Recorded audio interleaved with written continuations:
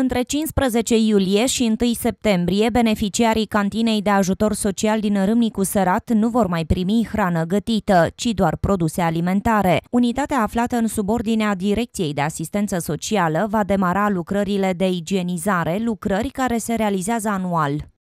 Ca în fiecare vară, cantina de ajutor pe timpul verii suportă astfel de activități, activități de igienizare, întrucât este un spațiu unde se gătește și se acordă mâncare uh, beneficiarilor.